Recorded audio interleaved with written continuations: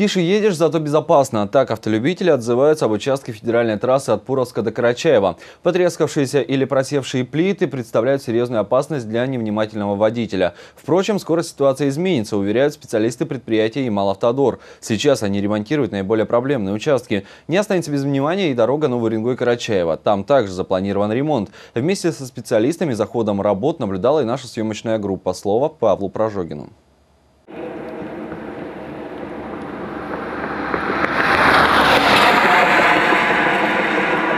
Участок трассы от Карачаева до Пуровска надолго запоминается каждому, кто хоть раз по нему ездил. Просевшие плиты, ямы, ухабы, набор сомнительных удовольствий протяженностью более 100 километров. Чтобы проложить курс в этом море дорожных проблем, водитель должен обладать чутьем и опытом штурмана или искать менее опасный путь, например, по обочине.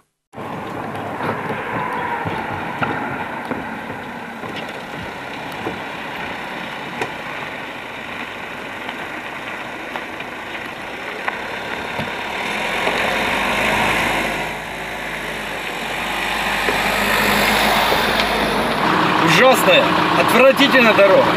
Я, яма на яме, я не объехать никудой вообще. И называется ремонт делать. Вот стоят, ремонт делать. Что, через одну ямочку засыпает? Щепнем. Что это за ремонт? Знаки стоят по... Знаки стоят, ремонт а дороги. ремонт, а ремонт, А ремонт это не производится, только знаки стоят одни. Ситуация изменится, уверяют специалисты компании «Ямал Автодор». На самых проблемных участках ремонт идет полным ходом. Разбитые плиты меняют на новые, параллельно устраняют просадки. Материалов хватает, пока сбоев нет. На этот сезон у нас э, заложено в текущем содержании дороги именно участка Карачаева-Пуровск 272 плиты – это замена и около 300 плит – это перекладка плит. Это э, плита снимается, подсыпается песок и обратно плита укладывается. Каждый этап работы на жестком контроле. Специалисты дирекции дорожного хозяйства ведут постоянный мониторинг ситуации. Пока претензий к исполнителям нет. Если недочеты появляются, их устраняют в рабочем порядке. Справляются подрядные организации в целом, работают хорошо, темп набран. Вот. э, Дорога в целом, ну, можно оценить пока. Есть отдельные участки, которые на троечку, но в основном на 4. То, что дорога спроектирована третьей технической категории, она себя оправдывает. То есть со скоростью 80 км в час можно довольно-таки комфортно передвигаться. На участке от Карачаева до Нового Уренгоя ремонт начнется в ближайшее время. Правда, он будет ямочным. По словам специалистов, эта транспортная артерия хоть и далека от идеала, но находится в удовлетворительном состоянии. Устранение просадок и ямочный ремонт начнется после первого числа.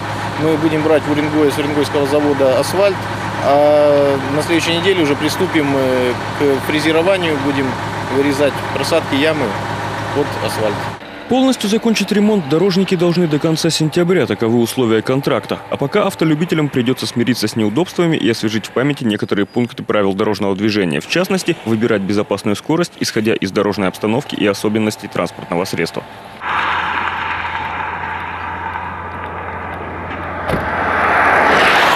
Павел Прожогин, Давид Давиташвили, служба новостей «Импульс».